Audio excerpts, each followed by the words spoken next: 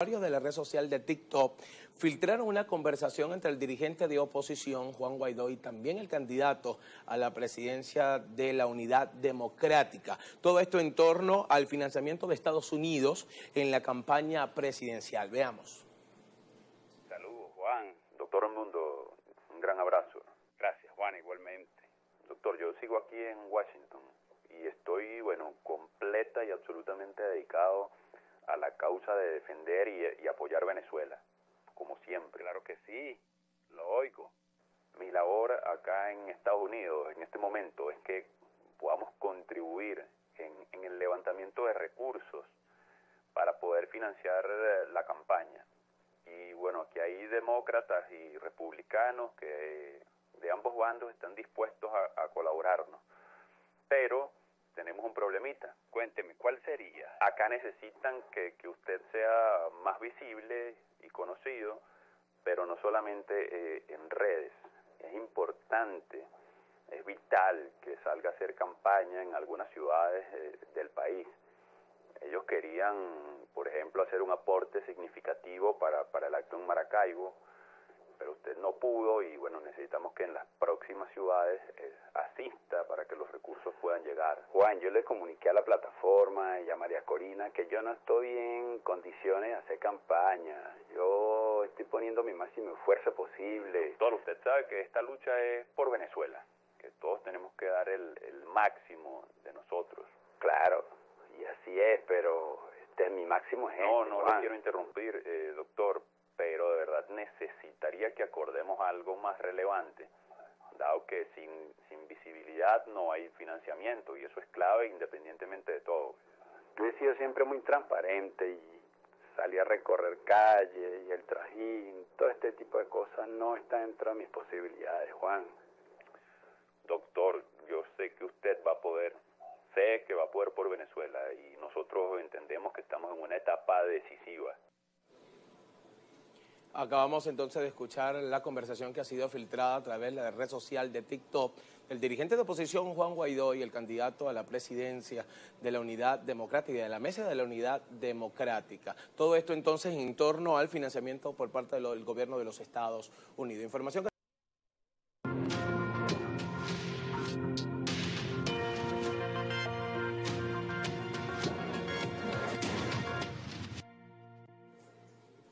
buenas tardes Venezuela, bienvenidos a Noticias a Globovisión Regiones. Soy Adrián Millán, todo el equipo técnico, periodístico y de producción estamos listos para comenzar este recorrido regional. Lo hacemos y a esta hora comenzamos estableciendo un contacto con nuestro compañero José Alejo Benítez, quien nos trae detalles sobre la activación del plan de prevención de lluvia. Muy buenas tardes, José Alejo, cuéntanos.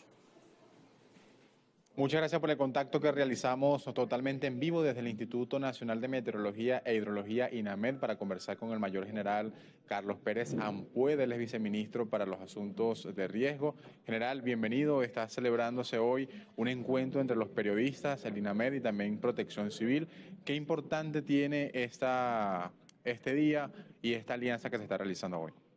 Bueno, sí, un saludo para todos celebramos esta iniciativa ordenada por el ministro de Relaciones Interiores, Justicia y Paz para articular con los medios de comunicación en un tema tan importante como es la gestión de riesgos, que nos va a permitir a nosotros hacer un encuentro que va, tiene una sola finalidad, apalancar la gestión de riesgo en el pueblo apalancar la gestión de riesgo en todos los ámbitos, en el ámbito educativo, en el, en el ámbito comunitario, en el ámbito laboral. Y esta es la finalidad de este encuentro, de manera que salga la información oportuna, la información veraz y que se manejen todos los términos oportunos, digamos los términos que tengan que ver con la gestión de riesgo.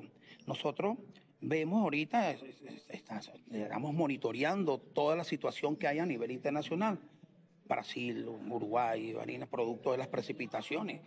Producto de esto nosotros también nos preparamos. Venezuela tiene un, sistema nacional de gestión de riesgo que está comprendido por los órganos de seguridad ciudadana, tenemos institutos técnicos científicos como el INAME y como FUNVICE que nos permiten a nosotros georreferenciar en diferentes partes de Venezuela y monitorear y pronosticar cuáles, cuáles son los, los riesgos que vamos a tener nosotros, con la, por lo menos por ahorita, con la temporada de lluvia y de este sentido, nosotros activamos, por instrucciones del presidente, pasado el 6 el pasado lunes 6, activamos el Plan Nacional de Lluvias. ¿Para qué? Para darle las herramientas a los señores gobernadores a los señores alcaldes para actualizar todos sus mapas de riesgo a través de los estados mayores de riesgo que permitan a ellos determinar cuáles son los factores que están ayudando o coadyuvan a que, se, a que sucedan eventos y de esta manera mitigar los riesgos. En este sentido, este plan nacional de lluvia está activado en toda Venezuela y es lo que nos va a permitir a nosotros enfrentar estas amenazas, estas vulnerabilidades, todos estos riesgos que tenemos nosotros, todo, todo este trabajo que se está haciendo a través de las alcaldías, los niveles de actuación, los niveles de actuación estatal, los niveles de actuación municipal, el nivel de actuación en el ámbito nacional y también estamos hablando de los protocolos, cuáles son los protocolos de actuación ante emergencia y desastre. Muchas gracias. Una alianza comunicativa que permite a todos los periodistas informar a la población venezolana de manera oportuna y veraz sobre lo que pasa en esta temporada de lluvias que ya se acerca. Ese es el aporte que tengo y regreso el contacto al estudio. Adelante. Gracias, José Alejo, por tu reporte. Nosotros vamos a cambiar totalmente de tema y es que en el estado La Guaira se desarrolló el sexto encuentro nacional del movimiento de profesionales y técnicos encabezados por la Autoridad Única de la Zona Económica de la región. Veamos. En el encuentro estuvieron presentes representantes de más de 33 profesiones de 21 estados del país, quienes se dieron cita para dar sus aportes al desarrollo de la nación. Saber lo que está haciendo el Zulia en el movimiento de profesionales y técnicos, saber lo que está haciendo Sucre en el movimiento de profesionales y técnicos ha sido muy enriquecedor para el resto de, de las ponencias. Han estado también hablando del tema de cómo comunicar que es una de las ponencias que se están haciendo acá, de modelos exitosos de planificación también se han hecho, y eh, cómo instrumentarlo. Bueno, hay algunas decisiones que se han ido tomando, por ejemplo, la creación de una revista arbitrada del movimiento de profesionales y técnicos.